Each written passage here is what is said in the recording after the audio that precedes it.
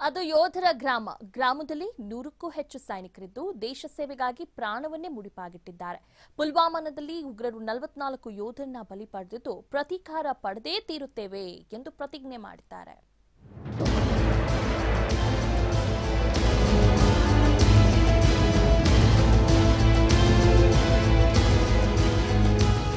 ಇದು ದಾವಣಗೆರೆ ತಾಲೂಕಿನ ತೋಳಹುಣಸೆ ಗ್ರಾಮ.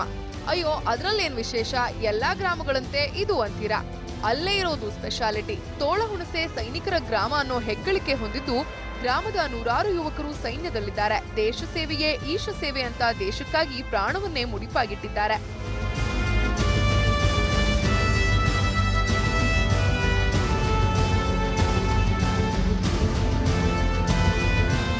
ಪುಲ್ವಾಮಾದಲ್ಲಿನ ಉಗ್ರರ ದಾಳಿ ತೋಳ ಹುಣಸೆಯ ಯೋಧರನ್ನ ಕೆರಳುವಂತೆ ಮಾಡಿದೆ.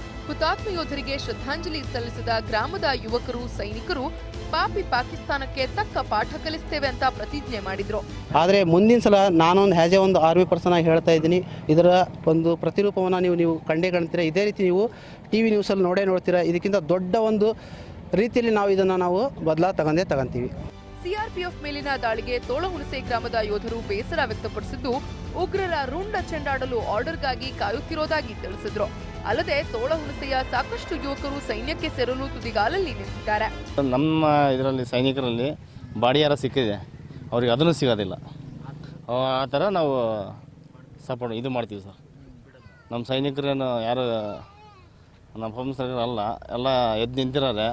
ಉಗ್ರರ ಪೈಶಾಚಿಕ ಕೃತ್ಯವನ್ನ ವಿವಿಧ ಮುಸ್ಲಿಂ ಸಂಘಟನೆಗಳು ಕೂಡ ಖಂಡಿಸಿದ್ದು, ಪಾಕಿಸ್ತಾನ್ ಮುರ್ದಾಬಾದ್ ಎಂದು ಘೋಷಣೆ ಕೂಗಿದ್ರು.